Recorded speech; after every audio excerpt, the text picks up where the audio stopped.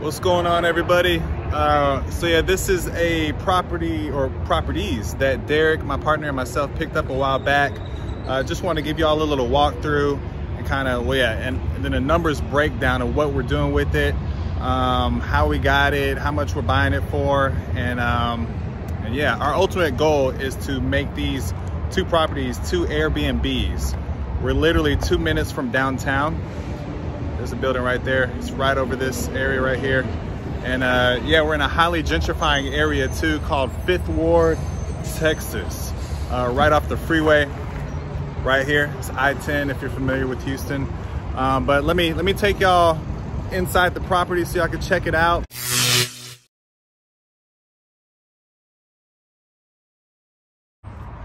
So unfortunately, this is the biggest eyesore of the property. We have a vacant property literally right next door.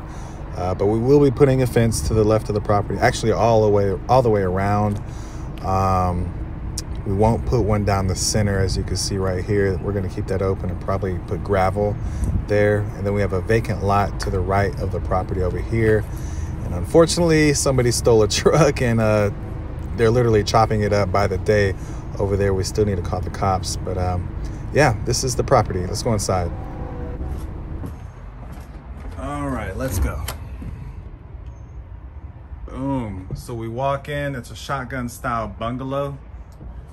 Walk in, here's the living room, dining room, kitchen, mud room back there, master bedroom, and closet and restroom. So this used to be a room, but we turned it into a restroom, a master bath, um, just so the guests will have uh, have their own restroom. Uh, so yeah, here's the master bedroom. We walk through. Secondary bathroom. Needs a lot of work, obviously. Windows already in. Kitchen. Second bedroom and the mud room, the washroom, electrical panel. Yeah, so you can see straight through the house. True definition of a shotgun style house. So I know you're wondering, what about the second one? So the second house, it's literally identical, identical to this house. Um, it's only off by a few feet. We don't know where those few feet are, but uh, it's literally the exact replica of this property. Um, so just a little context, it started out as a three bedroom, one bath. Since we're doing Airbnb, uh, like I said earlier, wanna make sure everybody has their own restroom, uh, that it's just more comfortable. So we're just making it a two bedroom. We condensed one of the bedrooms and turned it into a master bath. So now this master right here will have their own bathroom. They don't have to come out to the general public or anything, um, just to make it more, more homey, you know? So here's the backyard, uh, good sized backyard. We're actually two feet behind this fence. So once we get a fence built, which will be next week, fuck the lumber prices, by the way. Uh, it'll be it'll be cool and secure. But it had two decks. Uh, they were in horrible shape, so now we're just gonna add another five foot deck, five foot deck, and then it'll just be a you know seating area out here, nice area uh, to get away from maybe the people inside or, or whatever you want to do. Um, but yeah, we may just gravel this middle side right here. And uh, our fence line is literally right here. So we're not gonna add a fence right here since we already have an existing fence. Just gonna chop some trees down. Oh, there's our tree guy right there. Chop some trees down and uh, get it going. All right, guys, so I wanna go over the numbers on this prop or these properties as well. Uh, I just got done uh, mowing the yard because we were gonna get a code violation, so excuse the sweat and everything.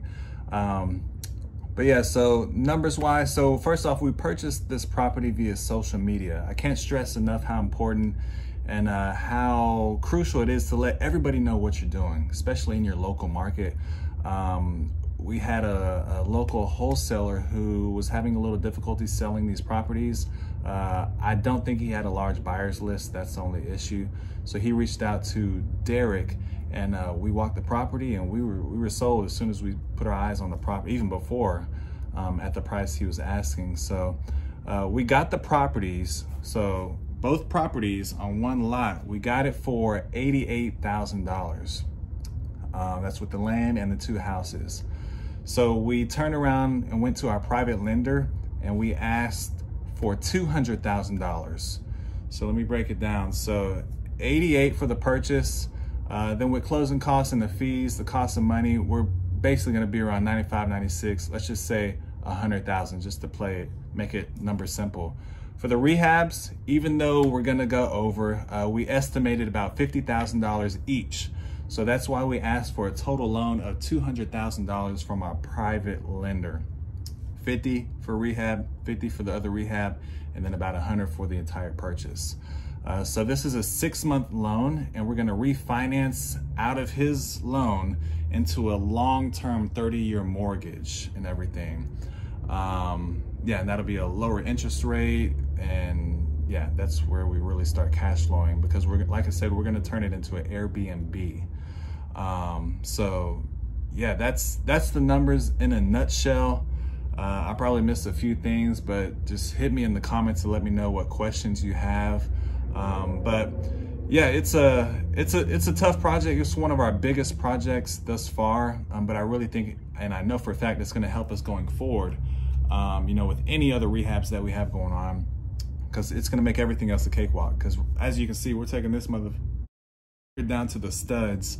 And uh, yeah, this is the first time we've ever done this. We have had some issues with theft, uh, contractors leaving on us and everything.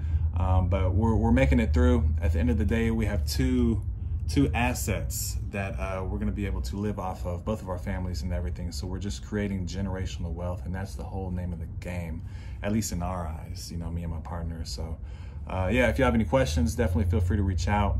And uh, yeah, I'll start making more videos regarding this property as well, so you can see the the journey and the transition uh, once we're complete. So it's exciting, and uh, yeah, let me know if you have any questions.